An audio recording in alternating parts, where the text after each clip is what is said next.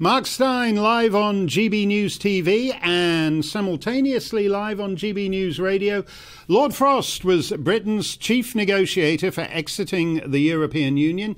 He has a slightly amorphous presence in the public mind because he was a diplomat who became a sort of advisor and then a sort of minister and then a cabinet minister, all while holding down that Brexit portfolio. But the gist of it all seemed to be that it was the man who mattered and the office was merely tailored to him.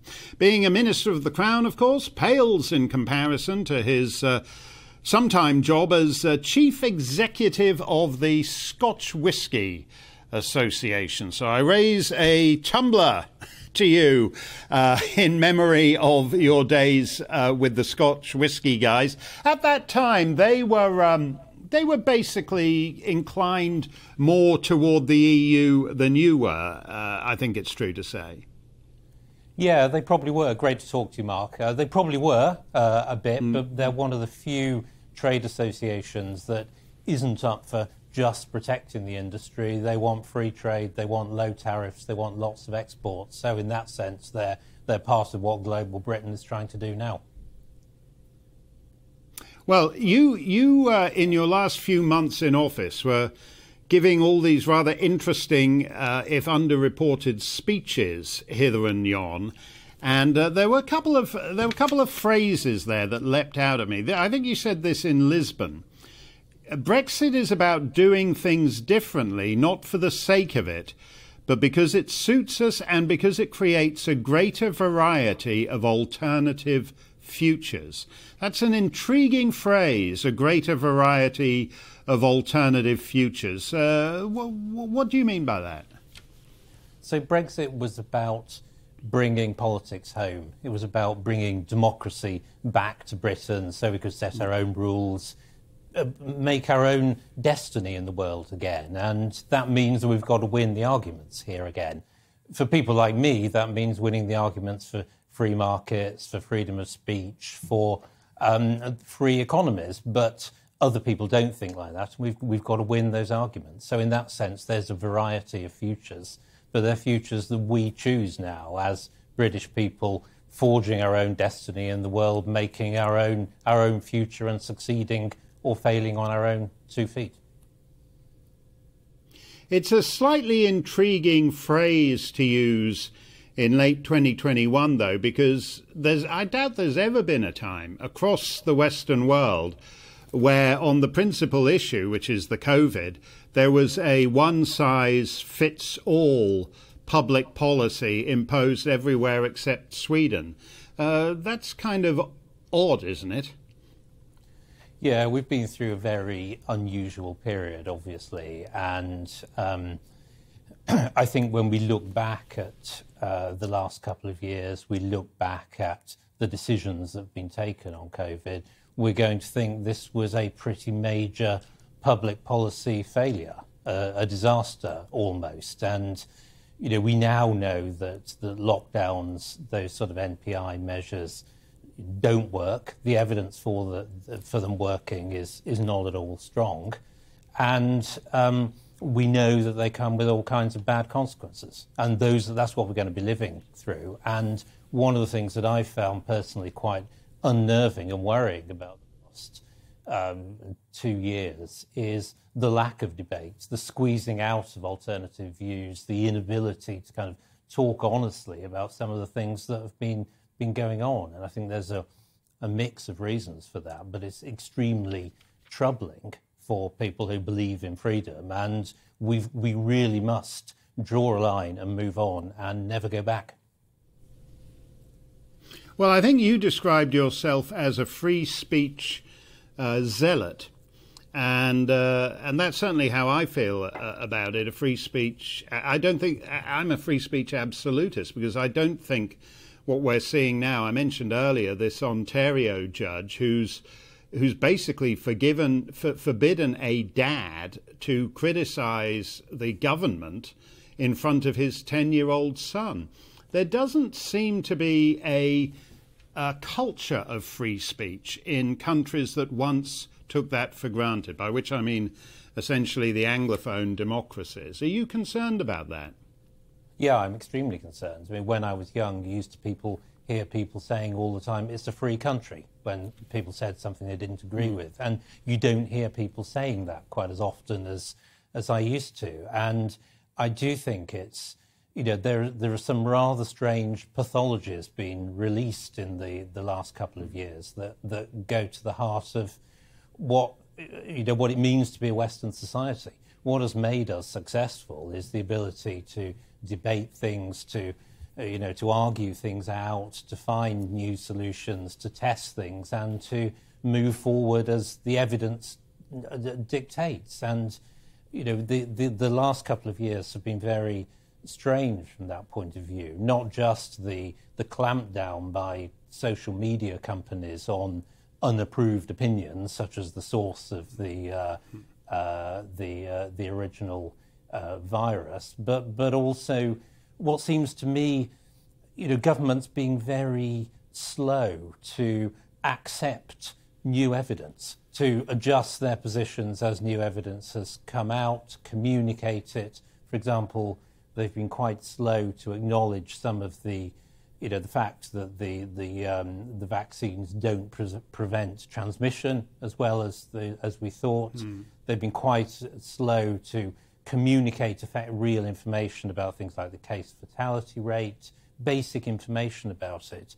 The governments have not pushed out that in a honest and open way, and I, I find this all extremely troubling, and that's why that's why I, I, I, left government when we seem to be going back down that track again on, on the Plan B uh, ideas last month. And I think it's so important that we repeal the legislation that we we don't continue with, with sort of zombie policies like the jabs for, for jobs thing in the NHS. We move on and draw a line. And I think for all the difficulties we've had in this country, we have shown that in Parliament we can still debate things. The debate has never been entirely crushed mm. here, and there have always been MPs who've been willing to speak out. And I think opinion is now turning. And I'm, I'm not surprised, indeed, I'm, I'm really pleased that this country is, is following countries like Sweden and, as you say, Florida, a state in the US. That is really good, and it's, it's a tribute to the strength of our political culture, and we've, we've, we've got to keep building on that. Well, it's it's one part of the UK. It's it's England, uh, Scotland Northern Ireland and Wales have generally been far more alarmist on it, and and you know, I'm sure because we we certainly get emails and tweets about it. There's a lot of people who can't figure out why all Western governments, with very few exceptions, are behaving exactly the same. They're saying, "Well, what's happening? Is, is everyone getting their orders from?" Chairman uh, Xi or that Klaus guy at uh, Davos or what's what's? But uh, I take it you would subscribe to the view that uh, for some reason there's just a groupthink among the Western leadership class generally. Yeah, I'm, I'm, not a conspiracy theorist, obviously, and I don't think you need to resort mm. to conspiracies mm. to explain what's gone mm. on. I think you just look at the pressure on politicians to um, do what they're doing, what is happening elsewhere, to follow suit, to take what seems to be the kind of lowest political risk approach to things in the short run, and um, thereafter to double down on it. It's always difficult for government to admit it got things wrong, to adjust positions, to change, and I think we're we're seeing that. Uh, obviously, in the UK, we're seeing, you know, th- there's always a wish for uh, the devolved administration, Scotland, Wales, and so on, to differentiate themselves in some way. And I think we're seeing that additionally as well here. But, but I think you just, mm. it's just a form of groupthink and normal government behaviour. And that's, that's why it's so important to keep debating and talking and putting forward alternative views so people can pick and choose and find their own best way forward. You you said when you resigned that uh, it wasn't it wasn't just for all the Plan B stuff coming back, but also about the general direction of travel of a supposedly uh, conservative government. So I take it uh, things like net zero and all that are problematic for you too.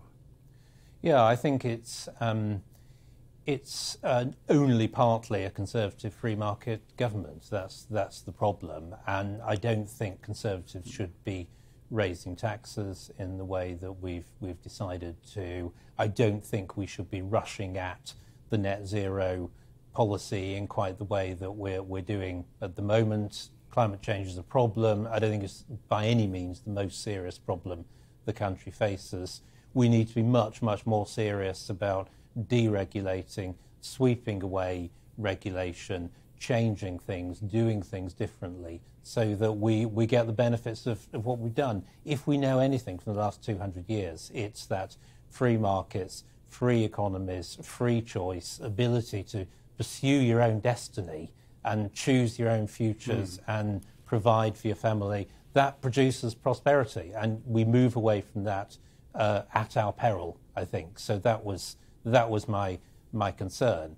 I'm not saying the picture is entirely bleak. The government has done some good things like the, the ARIA science research uh, uh, sort of agency that's being set up and one or two other things. But in general, I feel we've, we've drifted away from where the centre of gravity of uh, the, is of the people that, that elected us. There's a, there's a sense among despairing Tories that a lot of the issues of most concern to them, for example, the uh, migrants arriving on the southern coast uh, every night, that, that they're beyond the capability of politicians to solve them, because for whatever reason, people have concluded there are legal obstacles to doing anything about it. You've actually had charge of one of those issues uh, in terms of the Irish border and uh, where it has managed to be moved by very successfully in some ways by Brussels. Is it is it just that is it just increasingly hard, uh, even for a government with an 80 seat majority in the Commons, to, to to rouse itself to push back on these things? So I think modern governments are uh, enmeshed in a web of treaty commitments, of international commitments, of previous legislation, of assumptions and custom and practice about how you do things. And in this country, um, in particular, those treaties are interpreted by, by judges and lawyers and in house lawyers in government in, in particular ways. And it can be really difficult to shake yourself free from that and, and realize that other courses of action are, are possible. I think what we have seen in the last few years, and Brexit was, was part of it, but it's not the only part of it, is, is a sense that you know, these sort of webs based on international institutions, ways of doing things, are not necessarily in the interests of everybody in, in, in a country. And you know, what we were trying to do with the protocol and, and what Liz Truss is still going to be trying to do is, is work within that framework to try and get to a a better outcome, and it is extremely difficult. Uh, it's, uh, uh, it, it, may not be achievable, and we may have to, to take different routes. But did, nobody, back when the Belfast Agreement, the Good Friday Agreement, was being negotiated, nobody in British politics thought it would have any impact on uh, membership of the European Union did they? I mean, that sort of came out of the blue, didn't it? It was very cleverly seized on, but it's not something that I doubt anybody in Dublin thought during that time that it had anything to do with European Union membership. No, obviously, the, the Good Friday Agreement is, is about peace in, in Northern Ireland, and you know at that time. Mm. Uh, nobody thought that, that we might exit the, the European Union, but that doesn't make I, I, think the problem we've got now is that the, the protocol is actually undermining the, the Good Friday Agreement. It was, it was agreed in mm. extremely difficult circumstances when um, you know, we've been handed a, a, a, really poor draft agreement by our, our predecessors that wouldn't go through Parliament. We had Parliament blocking us leaving without any agreement, mm. with, without an agreement. So we had to do the best we could, and we prioritised certain things. We were doubtful. I was certainly doubtful that, that some of the protocol would would would work well, um, and it needed really careful handling, and it hasn't got it. So, to me, it's obvious that the protocol is going to have to be significantly renegotiated or replaced. That's the point we've got to. And the only question really is how much pain are we going to have to go through? How complicated is it going to be? How long is it going to take before the EU realise that? But, but it's obvious that's what's got to happen. It's only a matter of time. Let me just let me just put to you uh, the the emails we've had a lot of in one variation of another. The, after all the Partygate stuff and the wine bottles in a suitcase, people want you to come back as Boris Johnson's chief of staff. I take that. I can't even see that, so I take it that's a that's a kind of non-starter. And the other and the other group of people say uh, see you as a prime ministerial candidate along with all these other, like your chum Liz Truss and these uh, various other people who've been mentioned. Do you see yourself as a prime ministerial candidate? And is that actually uh, possible? I don't know. I don't understand Tony Blair's wreckage of the House of Lords in full, but I do know that at, at the time of uh, the 14th Earl of Home, it wasn't possible to renounce a life peerage or a peerage of the first creation. So I'm not sure whether you can become Prime Minister, but uh, are you up for it? Well, I must admit I've not looked into the detail of that, and I think that that is for a good reason, which is that it's uh, a long time since this country has had a, a Prime Minister in the Lords, and I, I, don't think it's what it's crying out for at the moment as a, a solution to, to the country's problems. So, so no, I don't, I don't think that's, that's uh, the best way of proceeding. Look, it's only, it's only a month since I left government. I think it's a bit soon to be talking about going back in, in any capacity um, never say never to anything, but actually, I think the Prime Minister, if he's going to succeed over the next year or two, he probably needs new people around him and new ways of doing things and a new policy prescription. Those people can, can help him deliver, and I'll, I'll be very happy to support that if we can, if we can get on that track. When you give these these speech, certainly the Lisbon speech, which which was riffing off uh, a pamphlet of, of Edmund Burke's, you see the sweep of history. Uh, we seem to be at one of those hinge moments where, after a period of uh, half a millennium of Euro American domination, the Chinese now see the world returning to its rightful masters. Do you think there's a general crisis? Uh, just, just quickly, as a final question, do you think there's a general crisis in the West? Yeah, I think some of the things that have made the West strong we're, we're undervaluing spirit of free inquiry, standing up for our own values, you know, supporting democracy. I do think, I mean, China is, is obviously a massive world player. It, it, it always will be. And, but, but I don't think that, I think we need to be a bit more clear sighted in the UK about the extent to which we've outsourced our own industrial capacity to China, you know, the, the kind of influence that China has in the UK in various ways. And I think we need to be a bit a bit tougher about that and a bit more clear sighted.